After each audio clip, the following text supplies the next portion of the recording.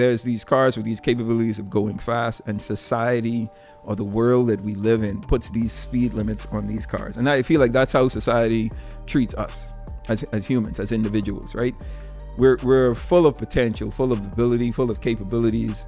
And society tells us you're supposed to go to school, get a degree, uh, get a good job, work for, you know, X company, earn X dollars, pay X amount of taxes, and live the the dream life, right? Whatever whatever society paints as a dream life. I feel like there's so much more that we can achieve, that we could attain if we were really able to tap into our innate abilities, right? And just have the attitude to to say, man, I can be much more than society is is is wanting me to be, right? I could be much more than these parameters or these boxes that society is putting me in and that's that's that's where attitude comes in right? You, you have to believe that what you're capable of is achievable